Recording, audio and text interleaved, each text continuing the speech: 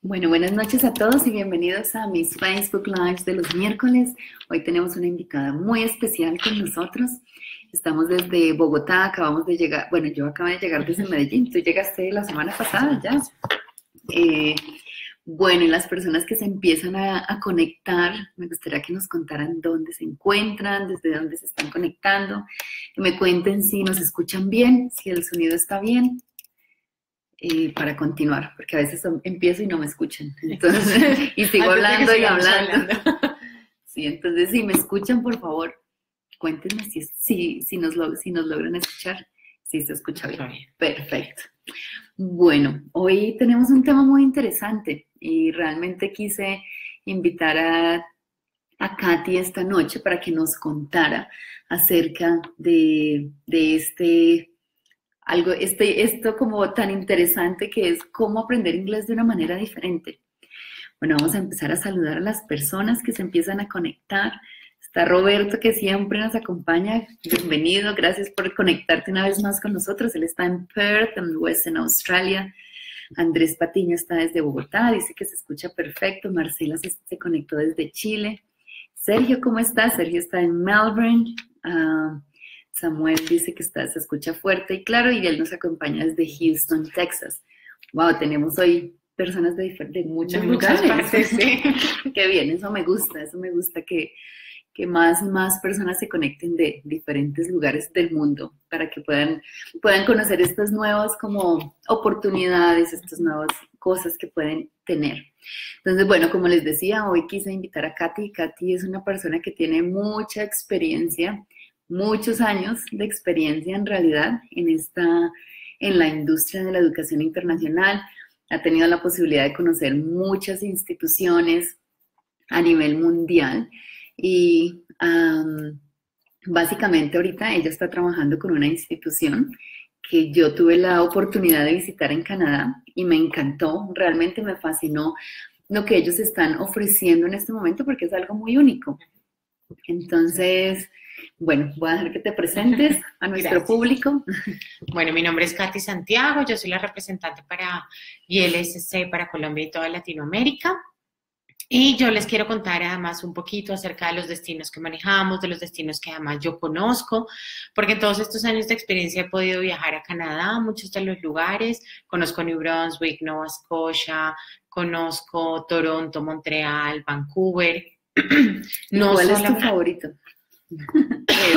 En Canadá. Para mí es difícil porque todos tienen su magia, la verdad, pero una de mis ciudades favoritas es Toronto.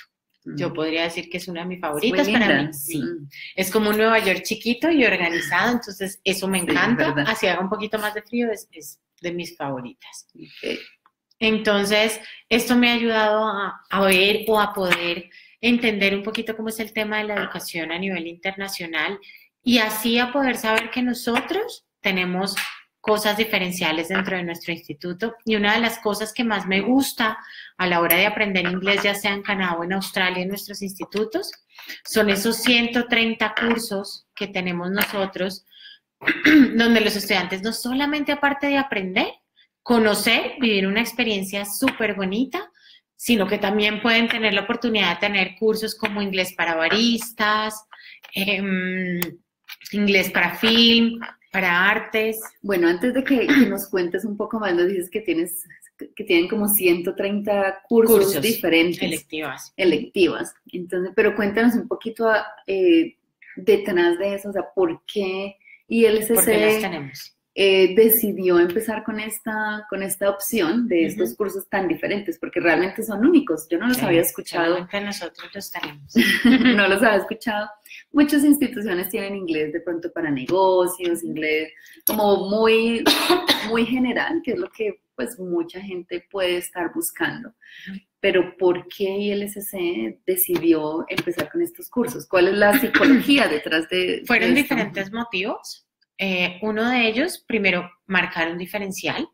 Segundo, que los estudiantes pudieran aprender el idioma de una manera más interesante, de una manera en que les gustara el idioma. Muchos de los estudiantes en todas partes del mundo se han visto obligados a estudiar el idioma, pues obviamente por oportunidades, pero no siempre porque les guste con este medio de electivas o de cursos hace que el inglés les guste a muchos.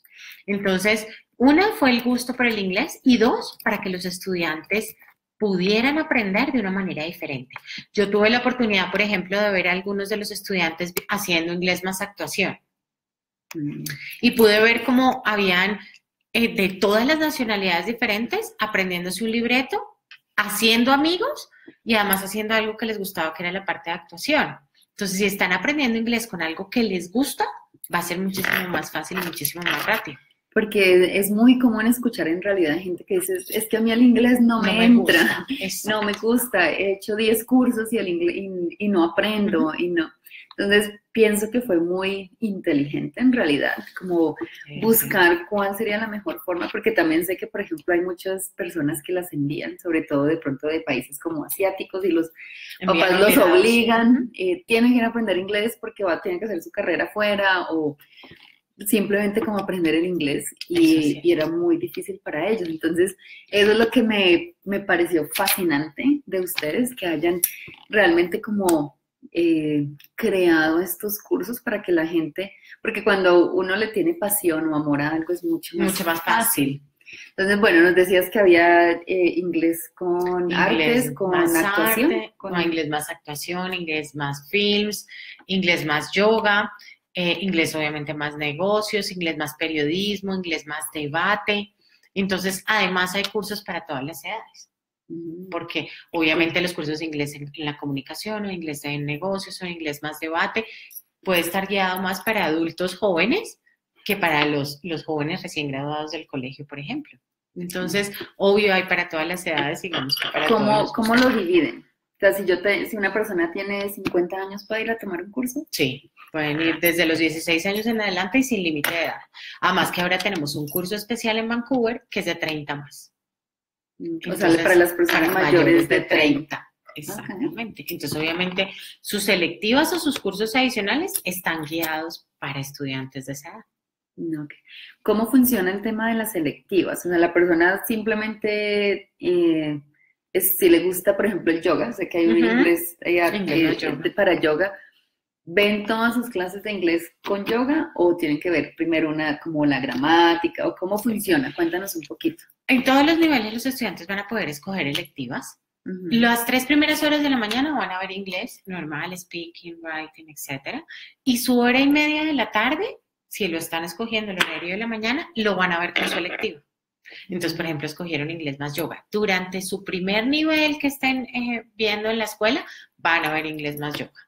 Pero luego, cada vez que van cambiando de nivel, pueden ir cambiando esa electiva mientras van avanzando en su nivel de inglés, porque para cada electivo hay un nivel de inglés diferente. No, ok. Pero si, por ejemplo, solo me gusta el yoga, que pudiera... Ah, ¿y tú quieres ver yoga todo el tiempo? Seis Lo puedes hacer. Sí, ah, porque además desde que empieza el inglés más yoga hasta el nivel máximo de inglés, tienes inglés más yoga. Entonces, si tú quieres seguir en inglés más yoga hasta que termines en la escuela, ok, lo puedes hacer sin ningún problema. ¿Cuáles son los que más la gente toma, que les llama la atención? Bueno, eso depende en cada destino, porque por ejemplo en, en, Australia el más popular es inglés para baristas. Eso por todo el tema del trabajo. Es para aprender a hacer los cafés. Los cafés, exacto. Y además una particularidad de este inglés eh, para baristas es que no solamente toman la parte técnica del idioma, sino que ensayan en las máquinas de café que hay en la escuela. ¿Y les dan un certificado al final? No, no tienen certificado porque funciona como un electivo, como un curso mm. adicional y dura ocho semanas o cuatro semanas o lo que dure un nivel. Pero a la hora de presentarte en una entrevista, ya tienes la ventaja del conocimiento de la parte técnica y adicionalmente a eso ya sabes manejar una máquina de café. Entonces eso te ayuda a tener esa ventaja frente a las otras personas que se están presentando. En Vancouver, por ejemplo, todo lo que sea de artes es lo que más, más pega. Entonces todo lo que es inglés más yoga, inglés más film, inglés más actuación, eso es muy, muy, muy, común en, en, Vancouver. Bueno, tú dices en Vancouver, en Australia, ¿dónde, en qué ciudades tienen ustedes campus? Mm, bueno, en Canadá tenemos en Vancouver, Toronto y Montreal. Y en Australia tenemos en Melbourne, Sydney y Brisbane. Ok. Vi que tenían algo en la India también. Sí, tenemos en New Delhi en la India también para todo el tema del inglés. Solo inglés. solo inglés. Sí, y hay algunos cortos, también tienen su, parte de electivas, igual que cómo funcionan en el resto, y tienen, por ejemplo, programas de TESOL para preparación para profesores. Para profesores de inglés. Bueno, ya saben, los que quieran de pronto tener una experiencia completamente diferente, eh, la India está como opción, podrían ir a aprender. Aunque tú me decías ahorita que no es recomendable ir con un nivel básico, la idea sería ir con un nivel ya un poco más avanzado y es más como vivir la experiencia. Exactamente, sí, el tema del acento puede afectar un poquito, entonces yo siempre recomiendo que ya sean personas que tienen algo a nivel de inglés para poder eh, no dañar su acento en alguna, en alguna manera y obviamente aprenderlo más rápido. Bueno, entonces hablemos de esos tres destinos, Canadá, Australia, India. ¿En la India se puede trabajar mientras estudian inglés? No pueden trabajar, ok. En Canadá, como ustedes lo saben, no. Tampoco podrían trabajar. Superiores. mientras estudian idiomas en Canadá, ya sea inglés o francés, no pueden trabajar. En Australia tienen esa ventaja, que si estudian, no importa lo que estudien o dónde lo estudien, pueden tener la opción de trabajar medio tiempo mientras están estudiando. Por más de 16 semanas. Ah, bueno, y esa es la otra. Ustedes están en Montreal. Entonces enseñan francés también. También. ¿Y francés también funciona con las selectivas? También. Tenemos aproximadamente 30 electivas para el tema de francés y son negocios en francés, por ejemplo, filme en francés, ya se van guiando todas las selectivas hacia el idioma. Okay. O sea, son como 40 en francés y como 100, como, 100. como 90 pueden ser en las otras. En inglés. En inglés, no en las otras escuelas. Hay uno que me llamó mucho la atención y es sobre um, social media. Eh, sí. Ahí tenemos tanto la electiva como el curso especial, porque tenemos ah. un curso especial de media marketing y social media y tenemos también en la parte de la electiva. Bueno, cuéntame cómo funciona eso de cuál es el curso especial y cuál sería la electiva. ¿Cuál es la diferencia? La diferencia. La electiva está dentro de los cursos de inglés, o sea, está incluido dentro de su horario, dentro del costo que ya están pagando, porque además no hay que pagar nada adicional por esa electiva. Y los programas especiales son programas que nosotros llamamos masteries, que pueden ser como un tipo de diplomado corto.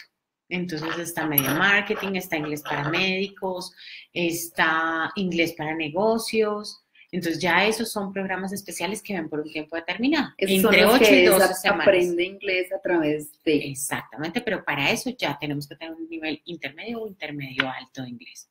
Entonces, si estando en la escuela haciendo un programa de inglés normal y llegamos a adquirir el nivel intermedio 3, por ejemplo, queremos pasar al media marketing, ok, hablamos con la escuela y si está abierto en ese momento el programa o está por comenzar, podemos hacer el cambio. Y podemos cambiarnos a un programa especial y ahí ya tenemos un certificado por el inglés de media marketing que hicimos. ¿Cuántos programas de estos tienen? De programas especiales podemos tener aproximadamente 20. ¿En inglés y francés o solamente? La mayoría son en inglés. Muy poquitos de los especiales son en francés, pero también hay programas de preparación, por ejemplo, de TISOL o de CELTA, que, son, que también tenemos en francés. De TISOL es en inglés, de CELTA en francés. Ok, el TISOL es para las personas que quieren ser, hacen este curso, que quieren ser profesores de inglés. Y el CELTA para profesores de, francés. Entonces, bueno, ya saben los, los profesores que están eh, escuchándonos, que nos están viendo y que se quieren certificar de pronto la manera más fácil de pronto de ustedes poder conseguir un trabajo como profesores eh, puede ser haciendo estos, estos cursos. ¿Cuánto dura el TISOL y cuánto dura el CELTA? El TISOL lo tenemos ahora entre 8 y 12 semanas, dependiendo del diploma que escojamos, porque tenemos dos diplomas diferentes. Estos diplomas están dentro del Greystone College. Es como un diplomado. Y los cogen de 12 o de 8 clarísimamente tampoco se puede trabajar, son programas cortos y simplemente son certificaciones para esas personas que ya son bilingües y quieren ser profesores, porque además se les exige un nivel alto de inglés. ¿Y ellos necesitan tener, por ejemplo, ya un IELTS o un TOEFL? ¿O ustedes tienen un examen? Sí, tenemos un examen interno eh, no, si, lo, si tienen IELTS o tienen el TOEFL, simplemente nos lo presentan. Si no lo tienen o no tiene vigencia o ya se les pasó la vigencia de los dos años, presentan un examen interno. Eh, eso dura más o menos una hora. Lo presentan desde su casa y ahí podemos nosotros saber qué nivel de inglés tiene. Eso funciona igual que para los programas especiales. Si un mm. estudiante desde su país quiere ir a hacer un programa especial como el media marketing o como el inglés de negocios, en fin, o para médicos no quiere pasar por inglés anterior porque ya siente que tiene un nivel de inglés, presenta el examen con nosotros, la entrevista y puede entrar directo a ese programa también. Ok. ¿Y estos programas más o menos cada cuánto tienen entrada, los programas especiales? Casi siempre tienen una vez al mes, pero eso depende de la demanda que tengamos ese mes en la escuela. Y podemos saber con anticipación, por ejemplo, estamos, bueno, ya se acabó febrero, marzo, en marzo qué cursos vamos a tener, en abril qué cursos vamos a tener. Eso lo podemos saber siempre con anticipación, claro, para poder hacer obviamente todo el proceso y que el estudiante pueda ser aceptado. Ok, perfecto. Eh, ahorita me hablabas de un college. sí. me metiste ahí otro nombre que estamos hablando de ILSC y metiste otro nombre. ¿Qué es eh, Greystone College? Greystone College. Greystone College es parte de ILSC. Se fundó en 2003 por toda la necesidad que tenían los estudiantes que ya tenían, sobre todo en Latinoamérica, tenían un muy buen nivel de inglés y lo que querían ir a hacer era otro tipo de cursos que les ayudaran en su hoja de vida, pero no necesariamente tener que ir a estudiar el idioma. Entonces tenemos en Greystone College dos ramas o dos áreas, una es Business y la otra es eh, Tourism and Hospitality, donde los estudiantes van a ser diplomados o certificados, ya sea en Business o en Hospitality y en, servicio al cliente. Esto es en Canadá únicamente. ¿O en Australia lo tienen? No, en solamente Canadá. en Canadá. Y esto funciona eh, como el COP. Exactamente. Entonces son cursos de un año. Sí, 50 semanas, son programas de 50 semanas, se divide las primeras 24 semanas, toda la parte eh, teórica del programa, pero además mientras están haciendo esas 24 semanas, tienen permiso legal de trabajo de 20 horas a la semana porque esto es medio tiempo superior. Exactamente.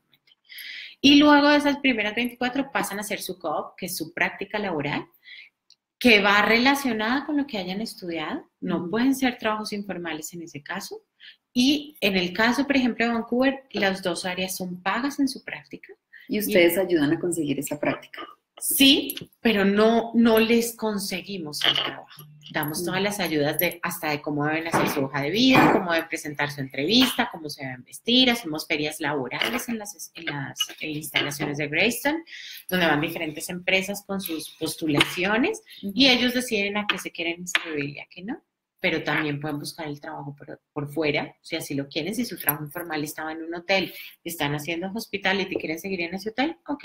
Mientras sea avalada por Greystone College, lo pueden seguir haciendo. Entonces decías que en Vancouver las dos áreas, hotelería y turismo y negocios, son pagas. ¿A qué te refieres que, que son pagas y igual ah, ellos lo tendrían, pues ustedes los ayudan a conseguirlo, pero no es como obligatorio? O, o si ellos lo consiguen, ¿deben ser pagas? Sí, es lo, ideal. Realmente es que esas son leyes de la provincia.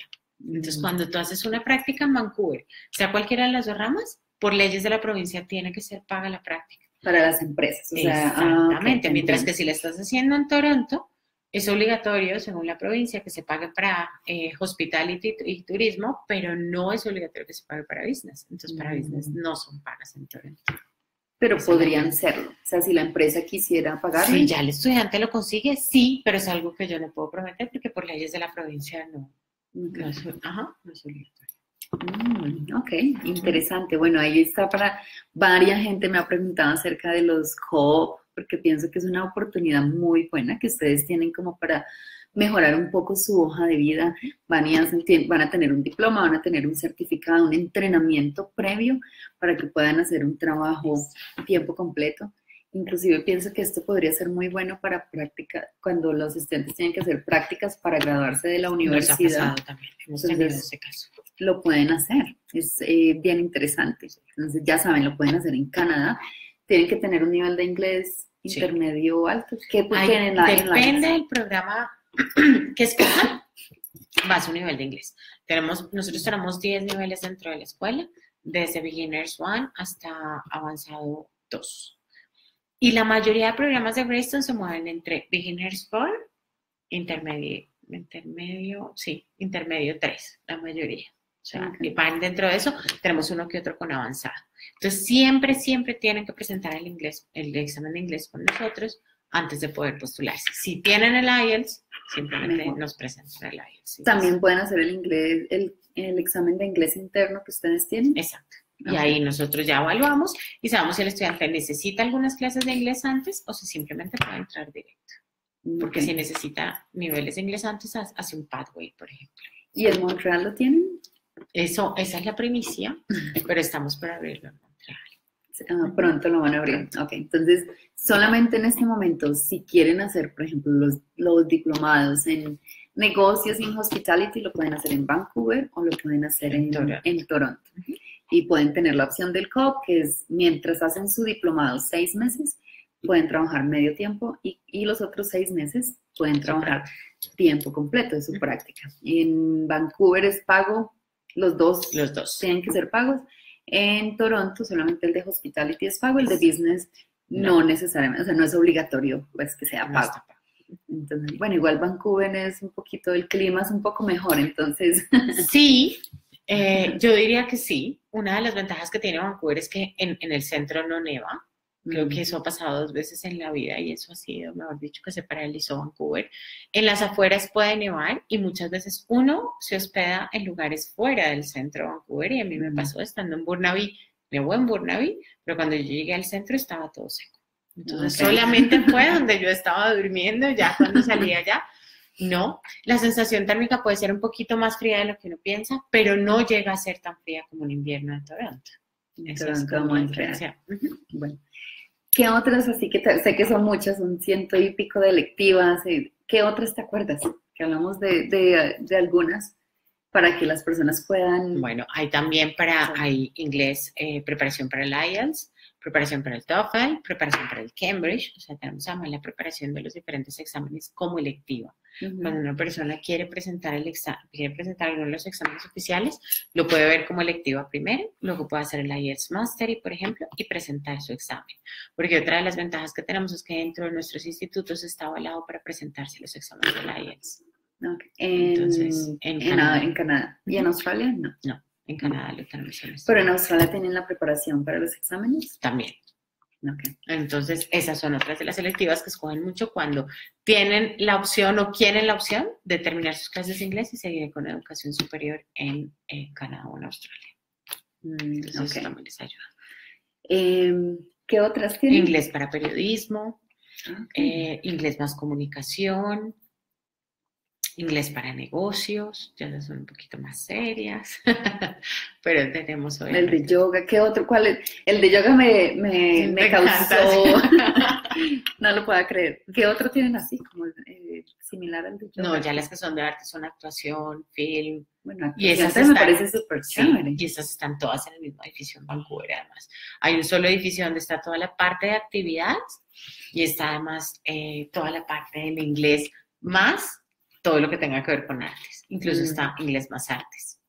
Entonces, en el mismo edificio está, yo digo que es el edificio más loco porque está toda la parte artística, entonces ve uno la parte de yoga en un salón, la parte de los de inglés más film en otro, la parte de inglés más actuación en otro. En Toronto. Ese es en Vancouver. En Vancouver. Yo conocí el de Toronto, el campus de Toronto, me encantó, muy, me encantan los diseños, son muy modernos, ah, innovadores. Además quedan en pleno centro, que eso es una ventaja grandísima, porque no nomás 20 minutos caminando y ya está en la siguiente hora. Entonces es una ventaja muy grande de Toronto. Mm, ok, ¿qué otro? Dinos más, dinos más. ¿Deportes? ¿Hay algo en deportes? No, en deportes no. Hay en toda la parte artística, em, hay en toda la parte de negocios, de periodismo, de comunicación, de preparación para los exámenes. ¿De sistemas hay algo IT? Aparte de, de media. De, marketing. De marketing. De marketing sí hay. De medio eh, ambiente. Creo que de medio ambiente, sí, en eso me corchaste. No me pareció haberla visto en medio ambiente, pero... Es que son bastantes. Sí, son 130 las que tenemos en total para todos los niveles de inglés. Entonces, obviamente, y obviamente para todos los destinos van cambiando las, las diferentes selectivas. Ok, ok, perfecto.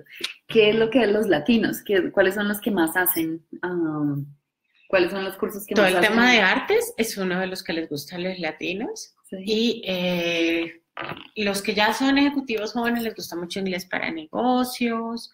Hemos tenido muchos de preparación para los exámenes. Eso, en esos tenemos muchos. Y en Australia, por ejemplo, inglés para baristas es el más popular. Ese sí es para todas las nacionalidades. claro, que es una ventaja grandísima, era lo que yo les decía a ustedes, cuando uno tiene una preparación previa y tiene algún skill en alguna área es mucho más fácil que ustedes puedan conseguir un trabajo diferente. A veces la gente simplemente se concentra en un área y solo busca trabajo en el mismo lugar donde todo el mundo va y no se dan cuenta que hay, que hay más oportunidades. Entonces, bueno, así de pronto, por ejemplo, no tengan el certificado como tal, ustedes si hacen el curso pueden decir, háganme una prueba. Yo sé cómo son, son los cafés, que no me cojan como a mí. Yo empecé a trabajar en un café y no, imagínate, hace 17 años cuando me fui, lo único que conocía era el tinto, que no, para los chilenos que están por ahí no es, no es vino, no es vino tinto, sino café. Es un café pequeño, como un café americano. Eh, no sé, y un capuchino. O sea, en esa, hace 17 años nosotros realmente no teníamos esa cultura del café de diferentes cafés. Entonces, para mí fue una locura. A mí los clientes me enseñaron a hacer cafés en, en Australia. Además que en Australia la cultura del café se vive de una manera extraordinaria, súper diferente a Canadá, por ejemplo. Eh, Canadá es mucho más té. Más té, sí. es más, más británico. Y además otra de las ventajas que tenemos en Australia es que manejamos tres diferentes horarios, el de la mañana, el de la tarde y el de la noche. Esto para facilitarle a los estudiantes el tema de su trabajo versus sus estudios. Entonces, si de pronto quieren trabajar en la mañana y tienen trabajo en un café, pueden estudiar en la tarde o en la noche. Si de pronto quieren estudiar en la mañana y trabajar en un restaurante o en un bar de noche, lo pueden hacer. Entonces, esos tres horarios les dan una flexibilidad muy grande. Eso solo es en Australia, en Canadá. Eso solo es en Australia, porque obviamente tienen la opción del trabajo y lo que hace la escuela es ayudarles eh, mucho pues con ese tema para que ellos puedan tener la flexibilidad y puedan trabajar. Ok. Una última pregunta, porque ya, ya casi vamos a terminar. Voy a abrir para unas pocas preguntas, pero yo te tengo una última pregunta que fue algo que me gustó mucho cuando fui a Toronto y fue algo de, que usted, de la parte social que ustedes manejan dentro de las instituciones. Creo que también es algo único que muy poco lo he visto en, en, algunas instituciones, hay algunas en Australia que lo manejan, pero cuéntanos brevemente cómo funciona la parte social. Eh, sí, tratamos de hacer parte social en todas las escuelas. Eh, en Canadá está muy fuerte ese tema. Y lo que se hace, por ejemplo, en el caso de algunas, de algunas de Toronto y en Vancouver, es que algunas de las actividades que no son pagas, se pide una donación de alguna manera. Entonces, no sé, 5 dólares, 2 dólares, 3 dólares, yo qué sé. Los estudiantes con sus actividades van haciendo esas donaciones y luego hacen actividades sociales junto con la escuela. Entonces van a comedores, hacen donaciones, han donado bicicletas, entonces hay fotos en toda la escuela pegadas de toda la parte social, obviamente todo eh, cuidar toda la parte de reciclaje, eh, tratan de no imprimir mucho, o sea, todo el tema que sea social, de preservar el medio ambiente, además de ayudar a la gente en todas las escuelas que tenemos. Además que algo que me gustó que nos contaron fue que muchas personas, sobre todo de pronto en Europa, que las personas de Europa a veces no tenían mucho como ese sentido social. Eh, les gustó tanto el tema de haberlo hecho en la escuela que llegaron a sus países y empezaron ellos proyectos o siguieron algún proyecto que ya habían empezado desde Canadá o desde Australia. Entonces me parece que es algo muy bonito, que les, ustedes siembran esa semillita en las personas, en los estudiantes y bueno, cada uno ve qué es lo que más le gusta y, y el hecho de que que estas personas sigan con proyectos o que inicien proyectos me parece algo súper bonito. Es como una parte de cambiar el mundo desde esa perspectiva, y además con todas las nacionalidades unidas, eso es bonito. Así es. Bueno, vamos a abrir unos cinco minutos para preguntas, las últimas preguntas. Eh, para los que creo que no les habíamos dicho, Katy está en Colombia, o sea, ella está ubicada en Bogotá, eh, representando a la institución. Entonces, por ejemplo, las personas, si ustedes quieren tener alguna, podemos organizar una info session ya con ella ya más personalizada, podemos invitarla a la oficina, ustedes pueden venir a la oficina y ya hacerle todas las preguntas que quieran acerca de la institución, de los cursos, de los horarios, de los precios, de, los, de las promociones, de todo. Ya lo podemos organizar. Tenemos la ventaja de que ella está acá en en Colombia. Y bueno, aprovecho para invitarlos este fin de semana a las personas que están en Bogotá. Tenemos una feria el sábado y domingo donde vamos a estar presentes y el SC va a estar ahí, nosotros vamos a estar ahí también con varias instituciones, entonces los que quieran visitar va, a ser un, van a, hay tres pabellones básicamente invitados especiales, Australia, Canadá y Nueva Zelanda, sin embargo vienen instituciones también de otras partes del mundo Entonces, si quieren de pronto ya hablar con nosotros más directamente, hacernos preguntas más específicas, nos vamos a ver, eh, creo que es en Corferias, ¿no? Sí, es en Corferias. Corferias. 3 y 4 el sábado y domingo 3 y 4 de marzo, desde las 2 de la tarde, hasta las 7 de la noche. Entonces los esperamos allá.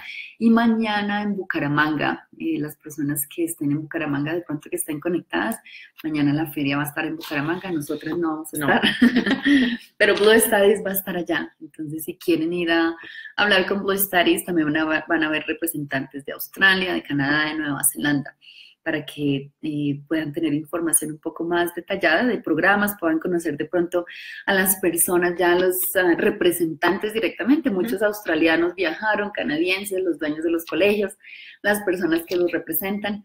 Entonces, eh, sí, a veces es, es, bueno también como, si ustedes ya saben que van a viajar, de pronto vayan y conocen la persona, al, al director del colegio. Entonces, bueno, acá tenemos una pregunta de Camila Ulloa. Dice, hola Andrea, soy de Chile y en junio partiré a Gold Coast por seis meses. ¿Se puede optar a extender una visa con estos cursos o recomiendas un TAFE? Bueno, Camila, depende mucho, depende tu nivel de inglés, porque si es de pronto muy, muy básico y todavía tienes los seis meses solamente te alcanzan de pronto para llegar a un nivel intermedio, podrías extender tu visa con uno de, estos cursos. Y LSS está en Brisbane, que es muy cerca a Gold Coast, eh, podrías hacerlo, pero lo que te digo, ya depende de pronto eso lo podríamos mirar más adelante ya cuando tú estés en, Australia, cómo te sientes con tu inglés y de esa manera definir qué, cuál sería el mejor curso para ti, dependiendo también cuáles son tus objetivos más adelante. Depende como de, muchas cositas. Entonces podríamos mirarlo más adelante ya dependiendo como tu nivel de inglés. Bueno, ¿quién más se conectó por acá? Nani dice que está en Bogotá. Manu Castiblanco, ¿conoces a Manuel? De, de los College. Manuel está en Bucaramanga hoy, ayer estábamos en Medellín, saludos y todo estás por ahí conectado. Eh, dice dónde va a ser.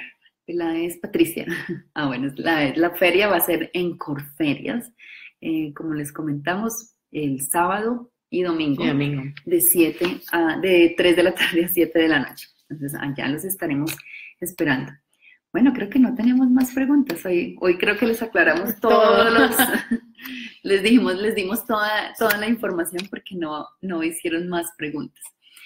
Entonces, bueno, como saben, las personas que quieran de pronto tener ya una asesoría más personalizada con nosotros para que miremos cuáles son sus objetivos, cuál sería de pronto el curso que más les conviene. Ya saben que tienen más opciones que no existen solamente el curso normal de inglés general o inglés académico, sino que pueden estudiar inglés a través de, de, las cosas que a ustedes les gustan. Entonces pienso que ahí es algo muy positivo, porque sí sé y lo he vivido y lo he visto en estos 12, 15 años que llevo en la, en la industria, que la gente me dice, no, Andrea, odio el inglés, no me gusta el inglés, no me gusta el francés, no, no aprendo.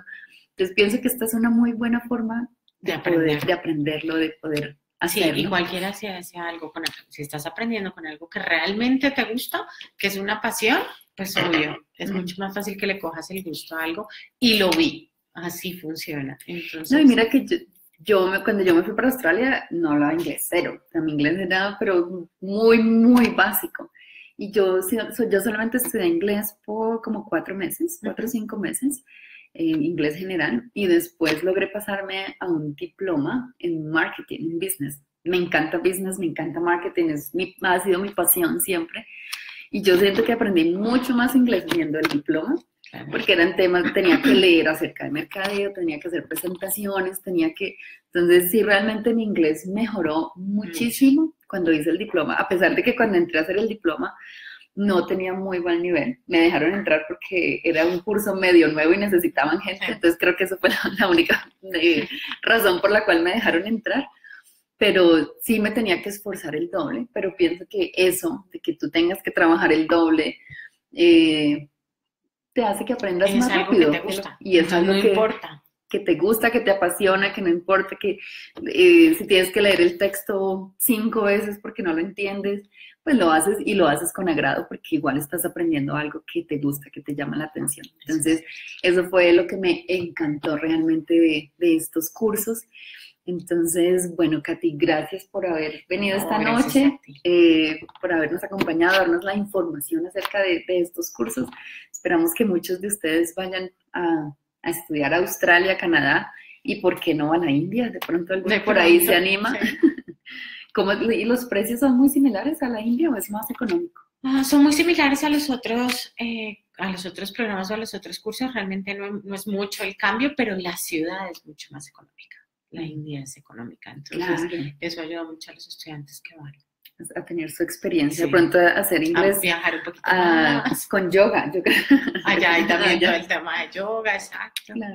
Bueno, tenemos una pregunta de Andrés Muñoz. La última pregunta. Dice, buenas noches, ¿estarán presentes en Expo Estudio en Chile el 23 y 24 de marzo? Sí, también estaremos en Chile en Chile vamos a representar bastantes instituciones. Yo voy como Chile? Sí, yo voy como ILSC a Chile, allá voy a estar, entonces ah, allá nos vemos. Perfecto, miren, los que quieran hablar directamente con Katy, Katy va para Chile. Entonces, y también vas a estar viajando acá, me imagino, en, en Colombia. En Colombia estoy todo el tiempo viajando. En las eh, diferentes ciudades. Las diferentes ciudades, entonces sí, cuando me necesiten, por ahí estoy.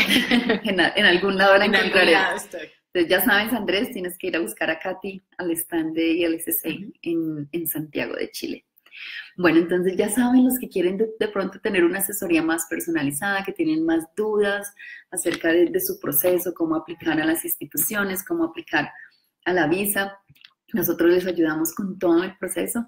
Tenemos diferentes oficinas, estamos en Chile, en Santiago de Chile, estamos en la Ciudad de México, Acá en Colombia estamos en Bogotá, en Bucaramanga, en Medellín, en Villavicencio y en Australia estamos en Melbourne y en Sydney y en Canadá estamos en Montreal. Entonces estamos en, en todas partes. y lo más importante es que estamos en las ciudades donde ILCC también tiene sus campos. Entonces es una ventaja grandísima. Bueno, creo que no tenemos más preguntas por el día de hoy. Como les dije, estoy tratando de hacer los Facebook Lives no tan largos para que ustedes puedan verlos después, no se aburran. Eh, cualquier pregunta que tengan me pueden escribir por interno. Eh, si quieren ya una asesoría personalizada, por favor envíenme su número de teléfono, eh, su WhatsApp y su email y en qué ciudad se encuentran para poderlos direccionar con las personas de, de cada oficina. Entonces, bueno, buenas noches, gracias por haberse conectado. Katy, gracias por haber estado acá. Gracias, eh, Muchas gracias, muchas gracias también a todos por haber estado presentes y por habernos acompañado. Y ya saben dónde encontrarnos. Ya saben dónde encontrarnos, sí. Por lo general en Bogotá, o si no, en cualquier parte. bueno, que tengan una buena noche y nos vemos dentro de ocho días con otro Facebook Live. Chao. Chao.